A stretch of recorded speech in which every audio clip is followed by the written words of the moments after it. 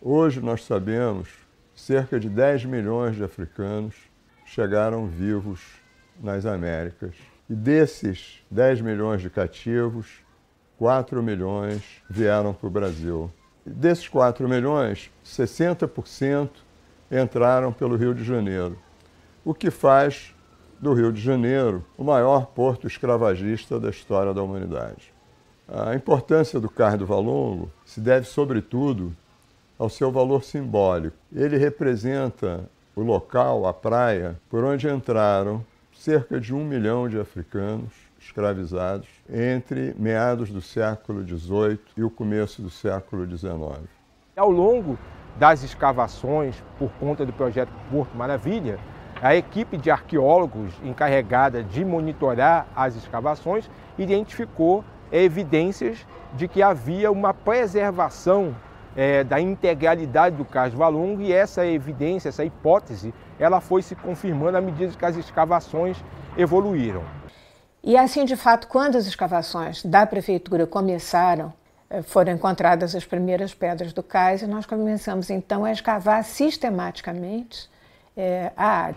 E foi uma coisa bastante interessante que as pessoas veneram esse espaço, as pessoas respeitam esse espaço, as pessoas param, passam aqui em frente a esse espaço e elas olham para esse espaço com a percepção de que é um, que é um espaço é, que, que guarda uma memória de sofrimento, uma memória de dor. A época, inclusive, das escavações, eu fiz entrevista com três operários que trabalhavam aqui, inclusive um operário angolano, é, que falou que conhecia a história, que ter participado das obras aqui é, é, é, é colocava sobre ele uma responsabilidade muito grande, e um operário brasileiro que falava o seguinte: eu fui obrigado a estudar a história do Brasil, que à medida que eu participava das escavações e me defrontava com esses achados arqueológicos, eu queria entender do que, que eu estava fazendo parte.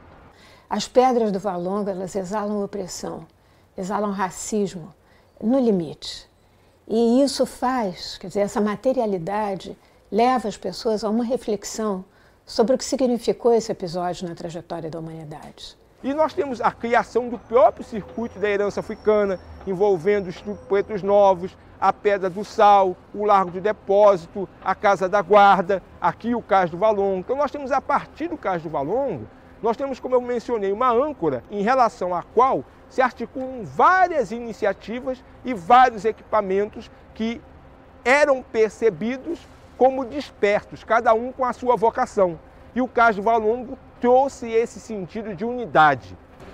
Esse local aqui onde nós estamos pisando, andando, é, é maravilhoso, porque é uma afirmação da cultura negra, que se chama Pequena África, que incorpora toda essa zona portuária até a Cidade Nova. Essa pedra aqui, a gente pode ver aqui as escadarias, foram esculpidas pelos escravos.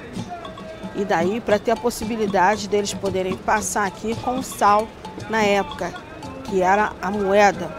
É o local aonde no final do século XIX, começo do século XX, se reuniam estivadores, capoeiristas. Lá nasceu o samba.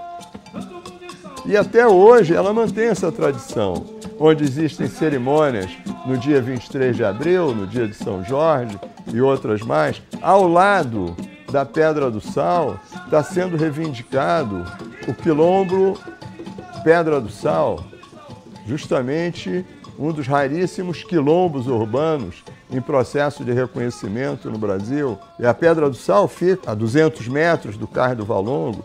E se nós andarmos um pouquinho mais, nós chegamos a um outro dos pilares principais desse circuito, que é o Cemitério dos Pretos Novos.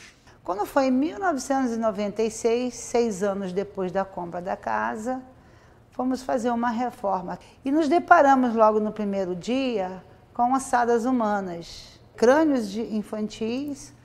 Para encurtar, é, são 20 anos de história, nossas obras foram suspensas, né? É, não fizeram a pesquisa naquela época, eles não sabiam lidar com isso, era um sítio arqueológico urbano, e aí, em 2005, decidimos é, fundar um Instituto de Pesquisa e Memória Pretos Novos, com o intuito de preservar essa memória. IWCBR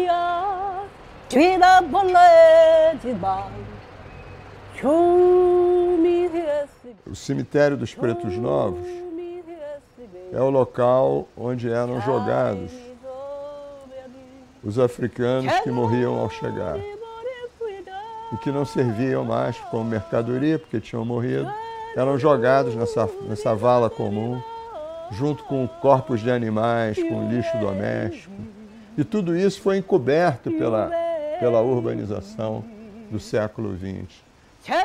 É o mais contundente testemunho da perversidade do sistema escravocrata, porque deixa evidente a forma com que o sistema tratava aqueles seres humanos que não lhes era mais úteis. Então, é, o que a gente vê agora, é, nós estamos diante de um grande desafio, em que se impõe, por força é, da reformulação da zona portuária, se impõe a dignificação daquela área, a modernização daquela área. Né? É, é um desafio na medida em que essa modernização, necessária sem dúvida alguma, ela não pode ser feita à custa do esquecimento do passado ou à custa da erradicação de modos de vida que são absolutamente tradicionais naquela área.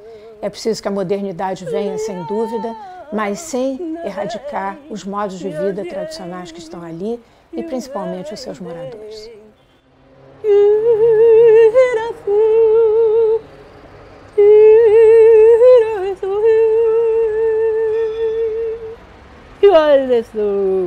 Deus é paz.